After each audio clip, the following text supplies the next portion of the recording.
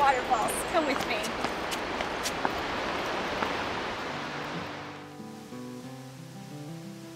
After a short hike dodging some trees and bushes, I already arrived to the first waterfall.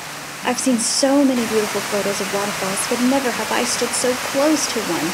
Watching the force of all the water gushing down is just astonishing. But this is only the small waterfall I've come to. There's a more spectacular one on the way.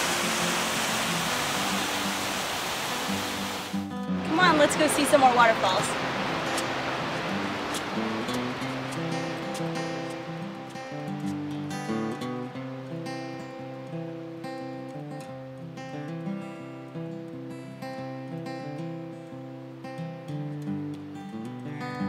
Along the trail, I've come across another side of the mountain with water trickling down like the rain, making this another place worth stopping for.